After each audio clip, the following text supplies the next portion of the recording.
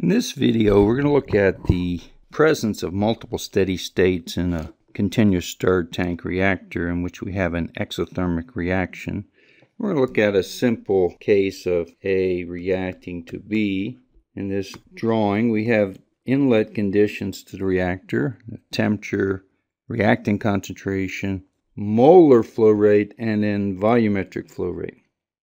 And we're looking at a liquid phase reaction. So we'll assume the volumetric flow rate doesn't change. At the outlet, the temperature will be different. The molar flow rate of A will be lower. The concentration will be lower. And the concentration in the reactor is the same as at the exit. The temperature in the reactor is the same as at the exit. So we're going to look at the steady state energy balance. And we're allowing, in this case, for heat transfer, but steady state, so there's no accumulation term.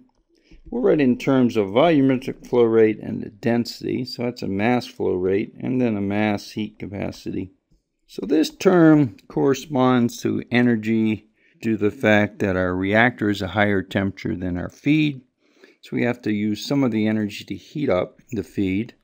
And then we have heat of reaction times the rate of reaction times the volume in the reactor and then we have heat transfer. So a heat transfer coefficient, an area for heat transfer, cooling temperature minus the reactor temperature. So this is a steady state energy balance. And what we're going to do is look at it just by slight rearrangement in terms of a heat generated and a heat removed term. We're going to visualize the heat generated as the heat of reaction term. And I've written it with a minus sign, so I've rearranged it such that this overall, because exothermic reaction, heat of reaction is negative, and R is KCA. So this overall term then becomes positive. The other side of the equation is then the corresponding terms that are left from the previous equation, the energy. So note that I've rearranged this to make this term T minus TC. And the reason for doing this, now this term is positive because the reactor temperature expect to be higher than our coolant temperature. And this term is positive because exothermic reaction, we expect our reactor temperature to be higher than our feed temperature. So we're going to now combine this with the mass balance, but keep in mind we're going to look at this as a heat generated term. In other words, the heat that's generated by the reaction. And we'll look at this as heat removal. At steady state, the heat generated by the reaction is either removed because we're heating up the feed or because we have heat transfer through, for example, a jacket that surrounds the reactor. So we need the mass balance to analyze this. Steady state, I'm going to do a mass balance on A. So we have a molar flow rate in, molar flow rate out, which is smaller because of reaction, rate of reaction times volume the negative sign here because A is a reactant, so it's a stoichiometric coefficient.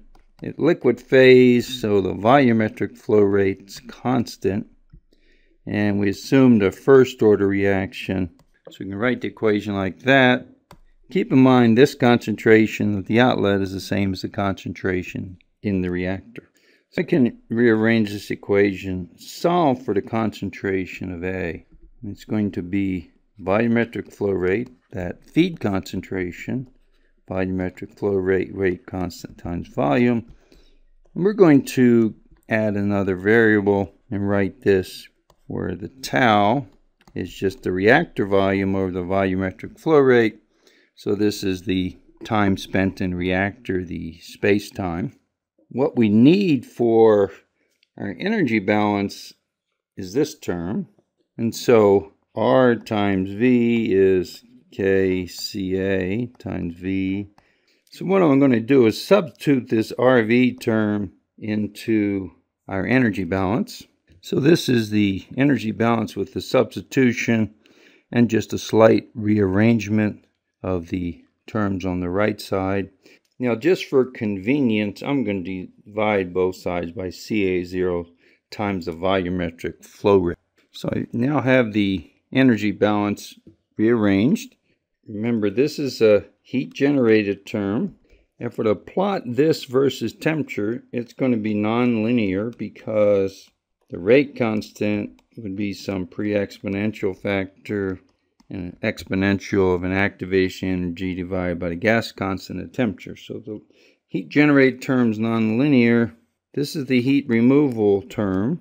If I plotted this term versus temperature, this would be linear in temperature. So if I want to look at solutions to this particular equation, one way to do it is just plot the left side versus temperature, plot the right side versus temperature, and to see where the intersections, when the left side equals the right side, those are then solutions to the equation. And so I've shown in this figure the plot for some convenient values of parameters. This is the heat removal term, and then this is the heat generated term. It has the nonlinear behavior because of the exponential dependence of the rate constant on temperature.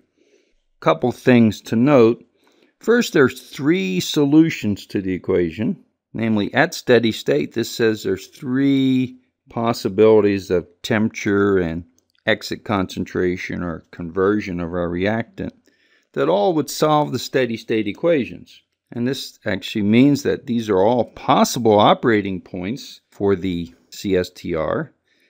And the question would be, how do we know which one we're operating at? And the answer is it depends on where we start. We'd have to solve the unsteady state mass and energy balances to determine which one of these we would approach. But we can do some simple analysis from this plot of heat generated and heat removed versus temperature. So let's look at this point. Now we're going to say this is a stable operating point. In a simple linear analysis, let's suppose we're at our stable operating point and there's some perturbation that pushes us off, say, to higher temperature. Well, a little bit higher temperature. Now the heat removal is greater than heat generated, which would tend to decrease the temperature. If we look in the other direction to lower temperature, well, now the heat generated is greater than heat removal. It'll push us to higher temperature. So this looks stable from a, a simple analysis. And same idea here. This looks stable for the exact same reason. This then looks unstable. Slight increase in temperature. Our heat generated is greater than our heat removal will tend to push us to even higher temperature and we start deviating from this steady state solution. So indeed, more detailed analysis shows that upper and lower states are stable, the middle one is unstable. There are certainly some cases where it can be more complicated than this, but it, if we're looking at this simple view initially, we can understand why we might have stable and unstable states, and which one we're at is a function of how we start our reactor.